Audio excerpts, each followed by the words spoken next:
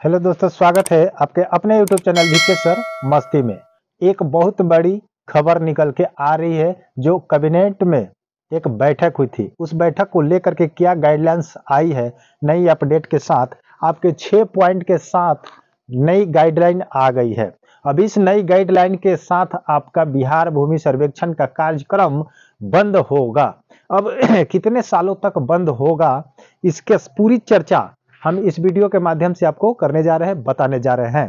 तो आप लोगों से रिक्वेस्ट है कि एक ये बहुत बड़ी खबर आप लोगों के बीच निकल के आ गई है और आप लोगों को जितना जल्द हो सके हमारे चैनल से जुड़ जाए और वीडियो को इतना लाइक कर दे, क्योंकि ऐसा खबर अभी तक आप लोग नहीं सुने होंगे कि यह सरकार आपको क्या करने जा रही है और क्या बदलाव कर दी है कैबिनेट बैठक की नई गाइडलाइंस के साथ। एक बहुत बड़ी अपडेट निकल के आ गया। बहुत बड़ा इंपॉर्टेंट वीडियो बनने जा रहा है, जिसको आपको देखना अति आवश्यक है, जो छह पॉइंट के साथ आपका सर्वे हुआ बंद। अब आपको क्या करना है, नहीं करना है, ये सारी जानकारी इसी वीडियो के माध्यम से मैं आपको बताने जा रहा हूँ। स्व घोषणा की अंतिम डेट भी निकल गई, उसके बाद सत्यापन मानचित्र की भी डेट निकल गई, समय निर्धारित कर दी गई है। उसके बाद आपत्ति करने के लिए भी आपका समय निर्धारित कर दिया गया है, उसके बाद सुधारने के लिए भी आपत्ति जो किया गया है, उसका भी, उसके बाद नक्शा का सत्यापन करने के लिए उसका भी समय अवधि निकाल दिया गया है। हवाई सर्वेक्षण के लिए भी आपका क्या किया गया है? समय निकाल दिया गया है। कुल मिलाकर अगर देखा जाए तो सभी चीज़ों का सर्वे समय निकाल दिया गया है। थोड़ी लाइट की प्रॉब्लम है, लेकिन आप लोग को इतना भी ज़्यादा दिक्कत नहीं है, आप लोग को पता चल जाएगा और आवाज़ आपको हमारी क्लियरली सुनाई दे रहा है।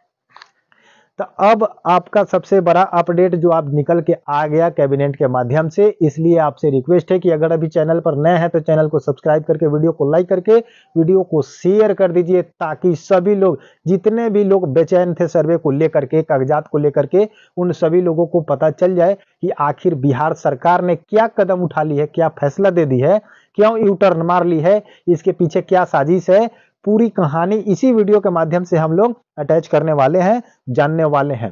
तो चलिए वीडियो स्टार्ट करने से पहले आपसे रिक्वेस्ट है कि अभी चैनल अगर नहीं सब्सक्राइब किया है तो कर लीजिए, वीडियो को लाइक ज़रूर दबा दीजिए। सबसे फ़र्स्ट नंबर में बात करते हैं कि स्वघोषणा स्वघोषणा पत्र जमा करने की समय जो आपको दिया गया है 180 कार्य दिवस दिया गया है। 180 का मतलब होता है आपका लगभग लगभग सात महीना। अगर 180 केवल दिवस दिया जाता तो आपका होता छह महीना के लगभग। और कार्य दिवस जोड़ा गया, इसका मतलब हो गया कि पूरा महीना, यानी कि जितने आपका छुट्टी उट्टी होता है ना, संडे उंडे लेकर के, ये पूरा जोड़ जार के उसको 180 कार्य दिवस बनाया गया है कि कार्यक्रम चलेगा। ये स्वघोषणा जमा, स्वघोषणा पत्र जमा करने की तिथि है कि आप अपना ज़मीन का स्वघोषणा पत्र देंगे कि ये ज़मीन मेरा है, यानी कि प्रपत्र दो देंगे। उसके लिए आपका एक सौ अस्सी दिन मिला, यानी कि सात महीना। आज से आपको मिला कितना? सात महीना मिल गया। उसके बाद बात करते हैं कि सत्यापन मानचित्र, यानी कि आपका मानचित्र सत्यापन करने के लिए, यानी कि आपके नक्शा जो है, पहले जो नंबर दीजिएगा प्लॉट का, उसको सत्यापन करने के लिए 90 कार्य दिवस आपको दिया गया है। 90 कार्य दिवस के मतलब हो गया कि आपको साढ़े तीन महीना के लगभग लगभग आपका आज से समय मिल चुका। ये आपका कार्यालय के लिए मिला हुआ है। उसके बाद आपत्ति करने के लिए आपको मिला है साठ कार्य दिवस। इसका इसका भी आपका देखा जाए तो अढ़ाई महीना के लगभग आपका समय दे दिया गया है। उसके बाद है कि जब आप आपत्ति करते हैं किसी प्लॉट को लेकर के, किसी ज़मीन को लेकर के तो उसको सुधारने के लिए विभाग को दिया गया है साठ कार्य दिवस, यानी कि आपको आपत्ति करने में अढ़ाई महीना लग जाएगा। अढ़ाई महीना में आप दे सकते हैं। उसके बाद अढ़ाई महीने के बाद विभाग को अढ़ाई महीना लगेंगे उसको सुधारने में। अब सुधार करने में ढाई महीने लगेंगे तो अढ़ाई महीना इधर, अढ़ाई महीना इधर, पाँच महीना, ये भी गया। उसके बाद नक्शा का सत्यापन, यानी कि जो नक्शा आप दीजिएगा, उसका सत्यापन किया जाएगा कि ये ज़मीन कितना है और कितना डिसमिल ज़मीन है और इसको कितना चढ़ाया जाए। ये सब सत्यापन करने के लिए आपका समय दिया गया है। नब्बे कार्य दिवस, नब्बे कार्य दिवस के मतलब फिर आपका हो गया साढ़े तीन महीना। तो ये सारे समयों को जोड़ते हुए अगर देखा जाए तो ये आपका डेढ़ साल के लिए पेंडिंग में डाला जा रहा है। यानी कि सर्वे को कहा जाए तो सर्वे अब आपका बंद हो चुका फाइनली और ये आपका डेढ़ साल, लगभग लगभग डेढ़ साल के करीब ये सर्वे आपका नहीं होगा। आज से कैबिनेट बैठक के माध्यम से, नई गाइडलाइंस के माध्यम से।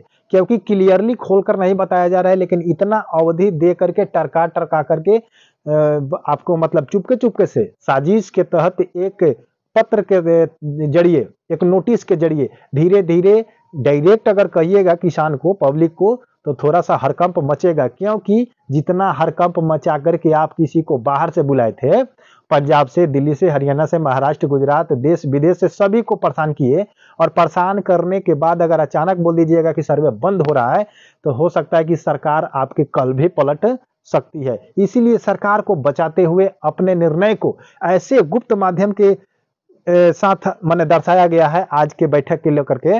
कि ताकि आपको कुछ पता ना चले और आप लोग इसी में उलझे रहे, समय को लेकर के समय बढ़ाते बढ़ाते 2025 खत्म कर दिया जाएगा और 26 को एंट्री मारेगा और 25 में नए चुनाव के साथ अगर सरकार बदलती है तो जो नया सरकार आएगी, अचानक फिर वो सर्वे पर काम नहीं करेगी क्योंकि वो भी कदम उठाएगी तो सोच समझ के उठाएगी।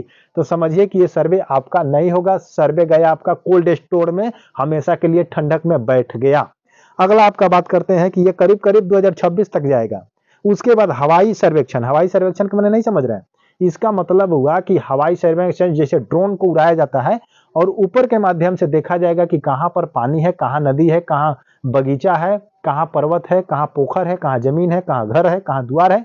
इसको हवाई माध्यम से देख करके फिर उसको नया नक्शा तैयार किया जाएगा। तो ये नक्शा तैयार करने में आपको समय लगेगा 2026 के पहले ये कोई नक्शा तैयार नहीं होगा। और 26 से पहले 25 में चुनाव है जिसको लेकर के सभी लोग सरकार को या तो चेंज करेंगे या सरकार यही रहेगी तो फिर अपना धीरे धीरे डिसीज़न लेगी। तो आज के कैबिनेट के बैठक में आपको इतना छह टॉपिक को मिल करके और हमेशा के लिए सर्वे को क्या किया गया?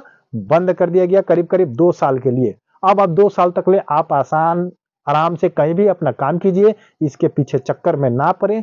अब आपको समय भी दे दिया गया है पर पत्र जमा करने के लिए एक सौ अस्सी यानी कि सात महीना, अब आज से आपको सात महीना मिल गया। पूरे डिटेल्स आप आराम से सुन करके वीडियो रोक करके लिख सकते हैं। वीडियो को लाइक कर दीजिए और चैनल को सब्सक्राइब कर लीजिए। फिर मिलते हैं किसी लेटेस्ट अपडेट के साथ। और धन्यवाद।